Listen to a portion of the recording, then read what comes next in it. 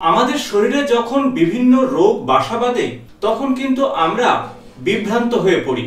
আর সেই বিভ্রান্তির কারণে কি খাব আর কি খাব না, এই সমস্ত বিষয় নিয়ে আমাদের চিন্তা ভাবনা চলে আসে। আর ঠিক তেমনই হলো কিডনির রোগ। কারণ আপনারা সবাই জানেন, কিডনি আমাদের শরীরের একটি গুরুত্বপূর্ণ অঙ্গ। আর যে অঙ্গের সাহায্যে আমাদের সারা শরীরের উৎপন্ন যে দূষিত পদার্থ, মূত্রের মাধ্যমে শরীরের বাইরে বের হয়। সেই সাথে শরীরে জলের ভারসাম্য এবং খনিজ লবণের ভারসাম্য বজায় থাকে। আর এটি যদি না থাকে, তাহলে শরীরে বিভিন্ন রকমের সমস্যা তৈরি হতে পারে। আমাদের কিডনিকে সুস্থ রাখতে যেমন প্রত্যেক দিন দুই থেকে আড়াই লিটার জল খাওয়া অত্যন্ত জরুরি। পাশাপাশি বেশ কিছু খাদ্য রয়েছে, সে খাদ্যের বিষয়েও আমাদের খেয়াল রাখা উচিত। যেমন অতিরিক্ত নোনতা খাবার, অতিরিক্ত মিষ্টি, এগুলো কিন্তু দিনের পর দিন আমাদের কিডনিকে নষ্ট করে দিতে পারে। আজ এই ভিডিওতে আলোচনা করব এমন পাঁচটি ফলের বিষয়ে। যে পাঁচটি ফল যদি ডায়েট চার্টে রাখেন, তাহলে আপনার কিডনি কিন্তু সুন্দর থাকবে বা সুস্থ থাকবে। এখন এই কিডনি সুস্থ বা সুন্দর থাকার বিষয় কিন্তু একটা প্যারামিটারের উপরে নির্ভর করে। অর্থাৎ আপনার কিডনির অবস্থা কোন পর্যায়ে, কি খাদ্য খাবেন, কোন ফল বা কোন সবজি খাবেন বা কোন ফল বা কোন সবজি খাবেন না, সেটা কিন্তু নির্ভর করবে। তাই বিস্তারিত আমরা জেনে নেব এই বিষয়ে। নমস্কার বন্ধুরা, আমি ডক্টর সুব্রত হালদার আর আপনারা দেখছেন আপনাদের এই প্রিয় চ্যানেল সুব্রত হেলথ। চ্যানেলে নতুন হলে চ্যানেলটি অবশ্যই সাবস্ক্রাইব করে দেবেন, পাশে থাকা বেল বটনটি প্রেস করবেন। ভিডিও ভালো লাগলে বন্ধুদের সঙ্গে অবশ্যই শেয়ার করবেন। বাজারে সারা বছরই বিভিন্ন ফল এবং সবজি থাকে, কিন্তু আমাদের যদি কিডনির সমস্যা থাকে, তখন আমরা বিভ্রান্ত হই। কোন ফল খাব এবং কোন ফল খাব না, বা কোন সবজি খাব বা কোন সবজি খাব না। আর এটা নির্ভর করবে আপনার কিডনির পরিস্থিতি কোন জায়গায় দাঁড়িয়ে রয়েছে। যদি গ্লোমেরিউলাস ফিল্ট্রেশন রেট তিরিশের নিচে চলে যায়, তাহলে কিন্তু কিডনির সমস্যা অনেক বেশি। সেক্ষেত্রে অনেক কিছু খাবার আপনাকে বাদ দিতে হবে। সেই সাথে শরীরে পটাশিয়ামের লেভেল, ফসফরাসের লেভেল কেমন রয়েছে, তার উপরে কিন্তু অনেক কিছুই নির্ভর করবে। বিশেষত কিডনির সমস্যার জন্য যে মেডিসিনগুলো ব্যবহার করা হয়, তার জন্য শরীরে পটাশিয়াম লেভেল বাড়তে পারে। সেই সাথে কিডনির সমস্যা থাকলে এমনিতেই পটাশিয়াম লেভেল বাড়ে। তাই খাদ্য তালিকাতে এমন কোনো ফল রাখবেন না, যে ফলে পটাশিয়াম লেভেল অনেক বেশি। কারণ কিডনির রোগীদের ক্ষেত্রে উচ্চ পটাশিয়াম যুক্ত ফল আরও বেশি সমস্যার কারণ হতে পারে। সেই সাথে সোডিয়ামের লেভেলকেও নিয়ন্ত্রণের মধ্যে রাখতে হবে। অতিরিক্ত লবণাক্ত জাতীয় খাদ্য কিন্তু ডায়েট চার্টে রাখা যাবে না। কারণ অতিরিক্ত নুন যদি শরীরে চলে আসে, সেক্ষেত্রে শরীরে জল আস্তে আস্তে জমতে থাকবে। তাই সব মিলিয়ে সোডিয়াম, পটাশিয়াম ব্যালেন্স ঠিক রাখতে হবে এবং অতিরিক্ত পিউরিন জাতীয় খাদ্য, অর্থাৎ পিউরিন জাতীয় প্রোটিন খাওয়া যাবে না। তাতে কিন্তু ইউরিক অ্যাসিডও বাড়বে। এছাড়া যে সমস্ত ফলে প্রচুর পরিমাণে অক্সালেট রয়েছে, সেই সমস্ত ফল কিন্তু ডায়েট চার্টে রাখবেন না। তাতে কিন্তু কিডনিতে স্টোনের পরিমাণ আরও বৃদ্ধি পেতে পারে এবং কিডনির স্বাস্থ্য আরও খারাপ হতে পারে।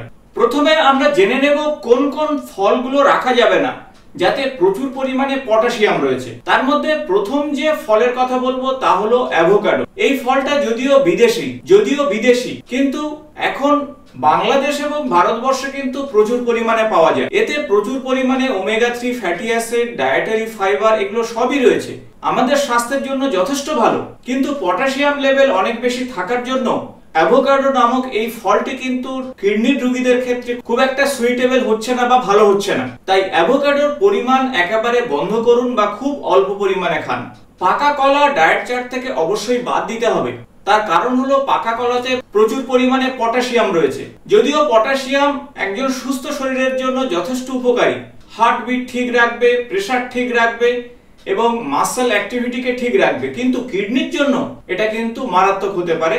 পাকা কলা। যারা নিয়মিত শুকনো ফল খাওয়ার চেষ্টা করছেন, অর্থাৎ ড্রাই ফ্রুট, তারা কিন্তু কিডনির রোগী হলে একেবারেই ছোবেন না। বিশেষত যাদের গ্লোমেরুলাস ফিল্ট্রেশন রেট তিরিশের কম, তারা শুকনো ফল থেকে দূরে থাকুন। তা হতে পারে শুকনো খেজুর, আখরোট কিংবা কিসমিস। এই সমস্ত খাদ্যের মধ্যে প্রচুর পরিমাণে কিন্তু পটাশিয়াম পাবেন। কিউই একটা বিদেশি ফল হলেও বাজারে অ্যাভেলেবেল তা হতে পারে বাংলাদেশ কিংবা ভারতে। তাই কিউই ফল কিন্তু স্বাস্থ্যের ক্ষেত্রে যথেষ্ট উপকারী, কিন্তু প্রচুর পরিমাণে পটাশিয়াম থাকার জন্য কিডনির রোগীদের ক্ষেত্রে যারা ক্রনিক কিডনি ডিসঅর্ডারে ভুগছেন, তারা ডায়েট চার্টে রাখবেন না।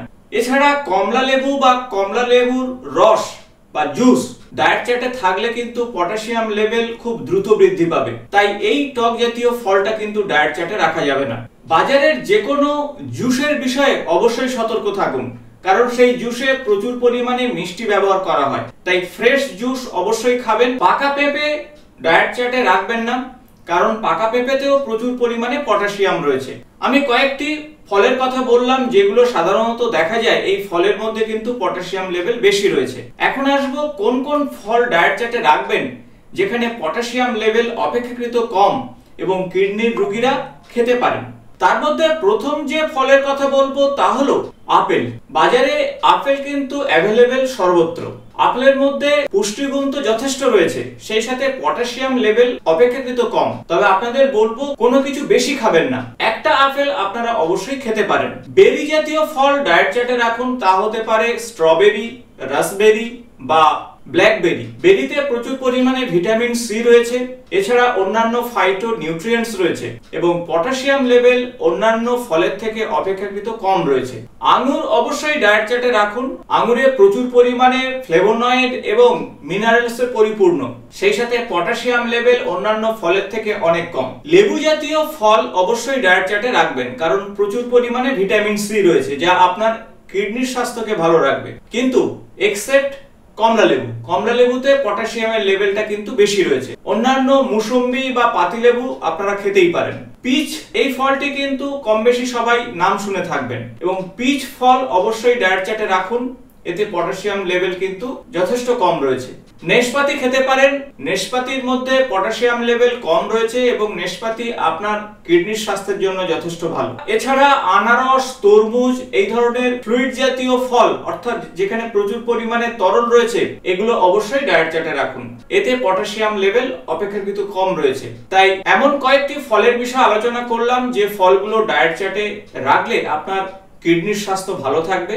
তবে বেশ কিছু ফল রয়েছে যেগুলো কিন্তু কিডনির জন্য ভালো নয়। তাই বুঝে শুনে আপনাকে খেতে হবে এবং অন্যান্য প্যারামিটার অর্থাৎ পটাশিয়াম লেভেল, সোডিয়াম লেভেল এবং সেই সাথে ফসফরাস বা ইউরিক অ্যাসিড লেভেল কেমন রয়েছে এবং গ্লোমেরিউলাস ফিল্ট্রেশন রেট অর্থাৎ আপনার কিডনির স্বাস্থ্য কোন পর্যায়ে রয়েছে তার উপরেই কিন্তু সম্পূর্ণ ডায়েট চার্ট ঠিক হবে।